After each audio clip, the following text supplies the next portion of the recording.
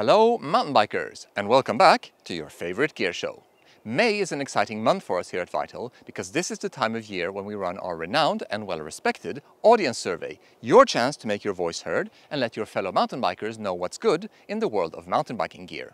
If you'd like to participate and you haven't done so already, head on over to our website and you should be presented with a pop-up link to the survey. We'll leave a direct link in the description below as well. Actually, today is a very exciting day for me as well because it's new bike day. I just unboxed this thing this morning. You'll be seeing a lot more of it going forward, so stay tuned. As for today's show, we've got a bunch of fresh new apparel and some new shoes to talk you through. But before we get into the reviews, time for our customary industry news roundup with a month in a minute. Let's dig in. Öhlins just unveiled a limited edition run of factory parts in signature yellow. Better hurry up and talk to your dealer if you want some. These will sell out fast. TranzX has jumped into the wireless dropper post game with their new EDP-01, set to retail for 499 US dollars, making it one of the most affordable wireless options out there. We've got one inbound for some testing, so look out for that review to drop soon. Nukeproof had a busy month, launching the all-new Horizon Pro wheelset and their 2023 range of riding apparel. Iconic skate, surf and snow brand Volcom has stepped into the mountain bike world for the first time with a trail pant and a short. More details on our site. Pivot dropped the third generation of its Mach 4 SL, featuring a lighter frame, refined suspension kinematics, and updated geometry. Link to the full review in the description below. Commencal has launched two new e-MTB models with Bosch motors, marking the first time the brand looks beyond Shimano to power its e-bikes. Canyon has updated the Spectral:ON with a 160mm fork, Shimano's latest EP801 motor, and connectivity to Canyon's new e-app. Back in the analog world, YT dropped the Dirtlove Core 1, offering a high-performance frame with a very affordable build. Got a derailleur hanger emergency? SOS Hanger has your back with over 1200 hanger models in stock and ready to ship out at a moment's notice.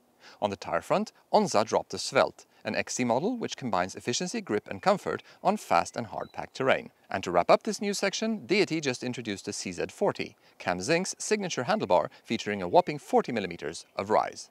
How about that, a new wireless dropper, eh? Can't wait to test it to see if it's a legit contender.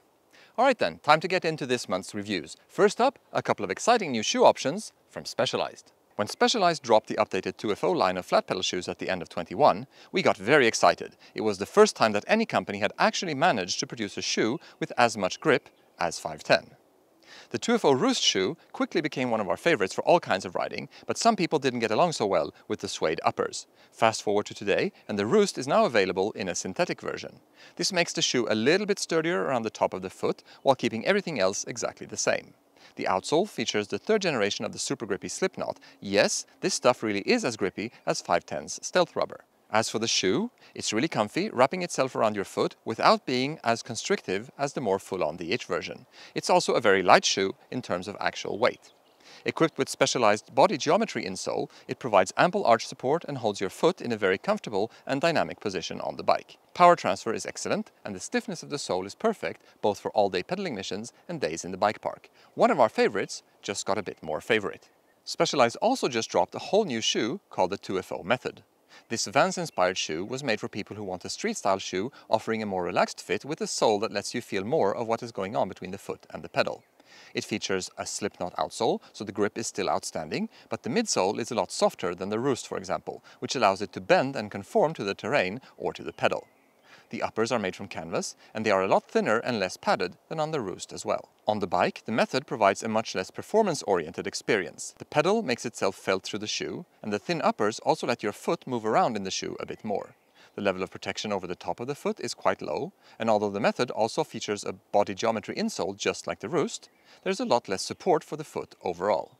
In terms of sizing, there's a bit less space in the toe area compared to the Roost. You may even consider going up half a size if you're between sizes.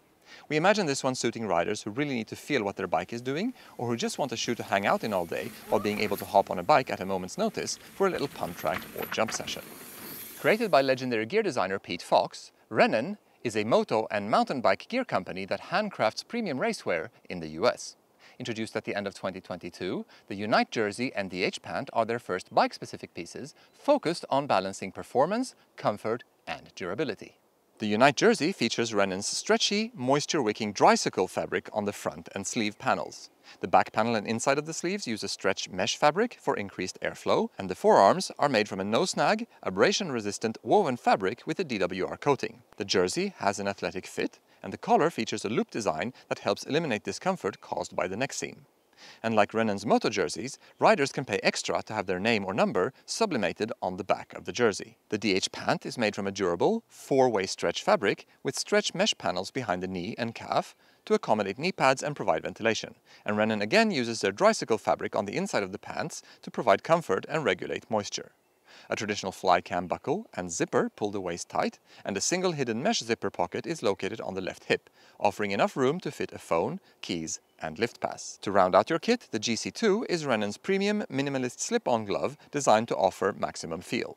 It features a molded neoprene cuff, single-layer genuine Clarino palm, and Italian warp knit fabric on the top of the hand for increased abrasion resistance and stretch recovery. Led by Pete Fox's lifelong experience of developing gear, it should be no surprise that Renen's first mountain bike specific kit is extremely comfortable, well-fitting and durable.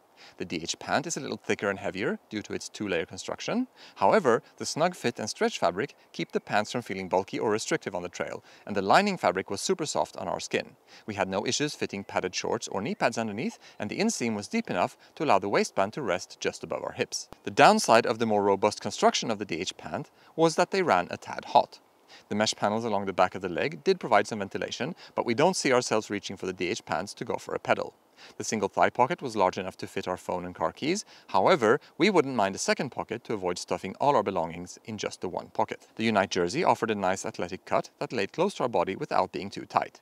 The thoughtful mesh panels on the back of the sleeves and the entire back kept the jersey from being as warm as the pants, making it a more usable piece of gear for bike park laps or shoulder season pedals. Our favorite aspect of the Unite jersey was the no-snag woven fabric used on the top and outside of the forearms. It provided more protection from bushes than most jerseys, and the DWR coating kept our sleeves from getting heavy with water during a few wet rides. Finally, the GC2 gloves are one of the best fitting slip-on gloves we've ever worn. Ideal for riders who like a thin, minimalistic glove, the ergonomic fit eliminates any bunching in the palms, and the additional gusset in the fingertips creates a snug fit with no irritating seams. The warp knit fabric on the top of the hand is noticeably tougher feeling than what's used on most slip-on gloves and did a great job protecting our hands from being whipped by bushes. They do lack many perforated vents, causing our hands to sweat more than usual. Overall, Renen's first mountain bike kit offers gravity-focused riders race-inspired, US-made gear that delivers exceptional durability and comfort for days when you are lapping the bike park or shuttling your favorite downhill track. New Zealand-based Mons Royale takes a slightly different approach to creating riding apparel, utilizing one of their home country's natural resources in the process, merino wool. Mons claims that merino wool fiber offers natural qualities that are useful when creating performance apparel. We've been testing out a few of their latest pieces to see if the claims hold true. Starting out with the Redwood Aircon jersey, this one is billed as the ultimate enduro jersey made for all kinds of conditions thanks to the Aircon 140 fabric that's said to be cool when it's hot and hot when it's cold. It's got perforated and breathable panels in strategic areas, a drop tail cut, a small zippered pocket and a goggle wipe inside the lower hem. The Tarn jersey features extra durable and breathable merino shift mesh back and panels, a drop tail cut for extra coverage and the same hidden goggle wipe as the Redwood. When things get chillier and you find yourself needing a bit more protection from the elements, the wind jersey is the next thing to reach for in your garment bag. Built on the same base of Tarn merino fabric as the previous jersey, the wind jersey adds a panel of wind-resistant ripstop polyester fabric to the front to help repel the cold.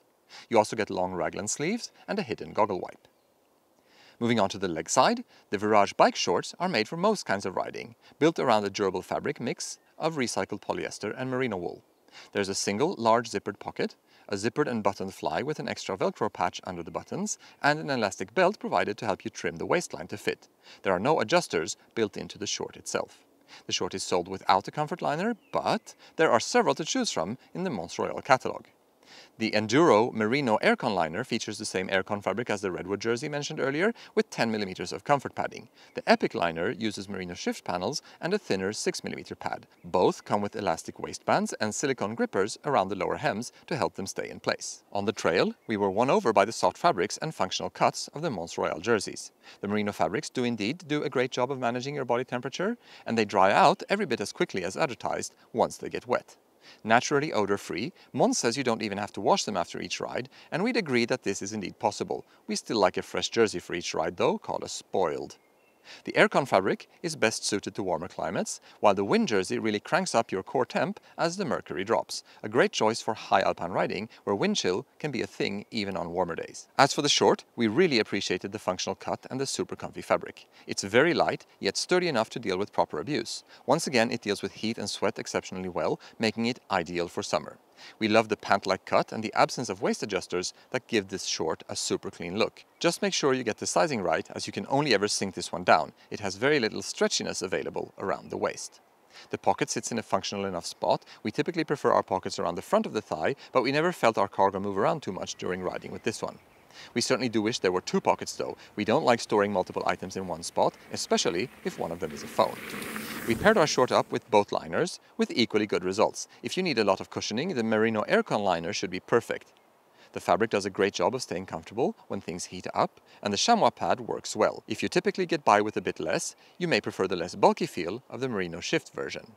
All in all, the Mons Royale stuff does what it says on the box. The lightweight fabrics do a great job of managing your body temperature while dealing with the abuses of mountain biking. Is there any itchiness from the wool? Well, this particular guy is quite sensitive to that. Blame it on growing up in Sweden and being made to wear a bunch of home knit, very itchy wool sweaters. And yes, there's a tiny hint of that when you first slip on a Mons jersey, but I soon enough got used to it and it didn't bother me at all while riding. Either way, it's well worth it for the other qualities this fabric has to offer. Okay then, moving on, we have one more outfit to review for you today, this time from Scottish apparel and protection specialist Endura. Built from the same blueprints as Endura's best-selling MT500 burner line, the new Burner Lite long-sleeve jersey and pants provide similar durability and comfort, but in a much lighter and airier construction for those hot sunny days on the bike. The Burner Lite pant is made from a four-way stretch nylon and elastan fabric and features a DWR finish to repel water and mud and laser-cut perforations along the back of the knee to increase airflow. The fit is comfortably snug, with plenty of room and stretch to wear padded shorts and knee pads underneath. Two vertical zippered pockets on the front of the thighs offer plenty of room for phone, keys or multi-tool. Waist closure is handled by two low-profile Velcro straps, and a front zipper with Velcro and snap buttons hold the pants snugly in place. The Burner Lite jersey is made from a fast-wicking, lightweight polyester and elastan mesh fabric with woven sleeve panels. The fit of the jersey is standard to slim, with enough room to fit low-profile body armor underneath. Laser-cut perforations throughout the body and sleeves increase airflow, and the shoulders feature silicone grippers to hold backpack straps in place. On the trail, both pieces of gear offered exceptional comfort, mobility and breathability. The Burner Lite pants fit reasonably snug, but were less tight than most trail-focused pants these days. The material is super stretchy and lightweight without feeling too thin, and the cut of the legs offers plenty of room for knee pads without feeling baggy near the ankles. The waistband sat high on our hips, keeping the pants from sliding down, and the Velcro closure functioned as intended, holding the pants in place. The Burner Lite jersey was one of the lightest and best breathing gravity-focused long-sleeve jerseys we've worn. The mesh fabric and perforated vents along the sleeves, chest and back helped manage heat, and once we were sweating, the jersey did a good job of expelling heat. Our only complaint is the jersey sleeves are quite baggy in the forearm, which caused bunching around our wrists. Overall, the Burner Lite kit is ideal for those hot days when you plan to spend hours on the trail and need comfortable gear that won't cause you to overheat. Whether you are getting out for a pedal or riding a chairlift, the Burner Lite kit offers exceptional performance with subtle colorways and a full-size range to satisfy most riders. Okay then, that's the end of the show. We hope you enjoyed it. Thanks for taking the time to tune in. As always, don't forget to like, comment and subscribe. And until next time, happy trails.